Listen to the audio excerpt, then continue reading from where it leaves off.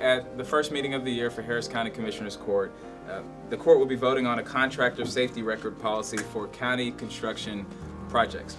More than 5,000 working people are killed on the job every year in the U.S., and nearly 3 million suffer from serious injury or illness. This takes an enormous physical toll uh, and emotional toll on workers, their families, but more importantly to all the people here, their communities.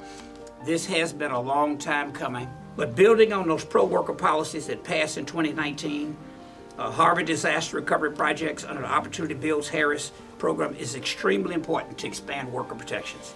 It's personal to me. I have a brother who's five years older who lost his leg uh, working for a subcontractor to a governmental entity.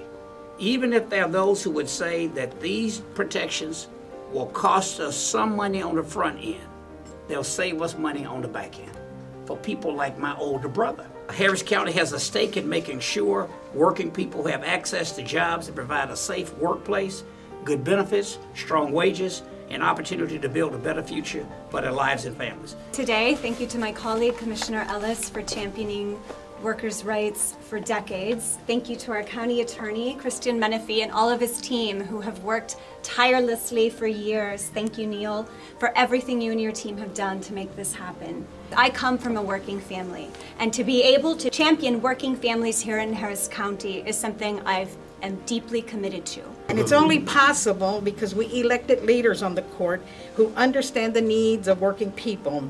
A majority that has taken real steps to end the safety crisis on Harris County construction sites and put the interest of workers first.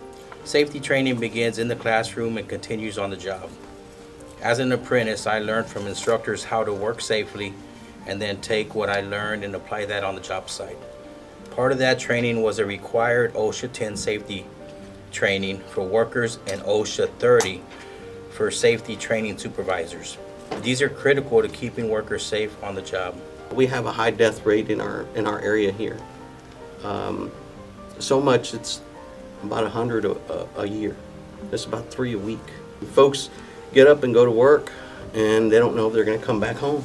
Current systems uh, and policies, lack of opportunities, uh, forced me to leave my country at the age of 19. I worked many jobs to make ends meet. I, from uh, hospital housekeeper to manufacturing and everything in between until I found my way to construction. I became an industrial painter myself for two years and through those two years in the field I witnessed and experienced several safety violations including working without OSHA training and lack of basic personal uh, protective equipment. Harris County has a responsibility to help strengthen and protect our workforce. That's what this policy does.